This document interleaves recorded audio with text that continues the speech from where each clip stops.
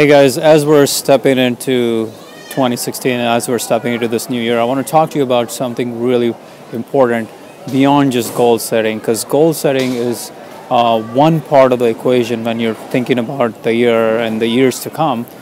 Uh, there's one key thing that keeps most of us stuck, even though we set our goals and we have our ambitions and specific uh, things that we want to accomplish. Here's the key we don't understand who we want to become. We don't understand our identity.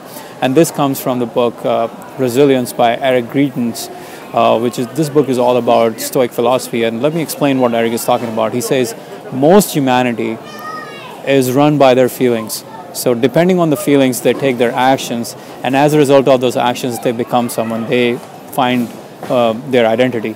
But instead, we need to start at the end. We need to start with what is the identity we're after, who do we want to become, and from that point, we realize what actions we will need to take, and those actions will lead to the right feelings. So don't become like the mass of humanity whose actions are being defined by their feelings, and hence their identity is really being defined by how they feel. Instead, figure out who you want to be, figure out your identity. Now, another way to look at it is um, or another example is from the from the ancient Greeks. What they used to do was when they were when the performers go in the theater, they would, put on a mask, and that mask would depict the character.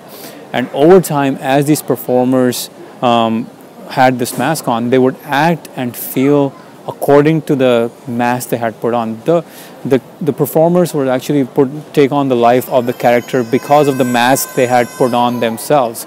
So really important to understand that even though today we're not where we want to be, today we're not who we want to become, if we put on this mask and if we live this mask over time, we become that person. So, really important to understand our identity. So, Arnold Schwarzenegger talks about this in his biography. He says, Don't worry so much about what you need to do. Instead, focus on who you want to become because once you figure out who you want to become, the actions will become much easier and the feelings will follow. And uh, the example from his life is when he, when he was working out in the gym, preparing for Mr. Universe, preparing for Mr. Olympia, a lot of people would ask him why he was always smiling. And for him, the reason was that because he knew he was already Mr. Universe, he was already a winner, he was already Mr. Olympia, he put on that identity. And as a result, he would act according to that. He would act like Mr. Olympia, Mr. Universe, and he would feel the same way. He would feel that he had already won, so he was happy about it. Another uh, example is from Think and Grow Rich, from Napoleon Hill's book, classic Think and Grow Rich, where he talks about acting as if. What acting as if really means is how would you act if you had already accomplished your goal? How would you feel? How would you be? Who would you be if you had already accomplished your goal? You want to do that right now and not wait till you've accomplished your goals. So identify who you would become and then the actions and the feelings will follow. So figure out the identity. Act as if you already become that person. Act as if you already become.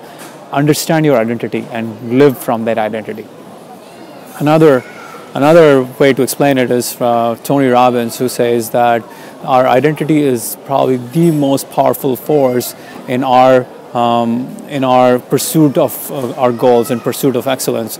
And what and what he says is that most of the times we're not limited by the actions we're taking, but we're more limited by the ceilings we have in our mind of who we are and what we're capable. So and what we're capable of. So our identity limits what we get in life. Our identity will always put a ceiling to uh, how far we can go in life. So as you're thinking about the new year, as you're thinking about 2016 and even 10 years from now, I really want you to think, who do you want to become? Who do you want to become? Who do you want to be as a human being in all facets of your life, especially in your business? Who do you want to become? Not only in the next year, but 10 years from now, 20 years from now, what is your ambition? Who do you want to become? Not only what you want to do and what you want to accomplish. So post it below, write down who do you want to become. Remember, the best way to learn, the best way to remember what you're learning right now is to engage yourself in a discussion, to actually uh, do the exercises, talk about it, write about it, do whatever it is. So write down below and I will definitely comment on, on your comments as well. Also, if you're new here, make sure to subscribe. Uh, we are always publishing great summaries of great business books, and you can always be learning new things. So, until then, um, until next time, uh, see you later. By the way, if you're wondering where I am, I'm in Amsterdam right now, this Amsterdam Schiphol airport, and that's why it's a little loud sometimes, and you hear the, all the announcements. I'm on my way to India and then Thailand. I'll keep you posted. I'll post videos from there as well. So look forward to catching up with you guys um, from India or from Thailand. Okay, talk to you later. Bye.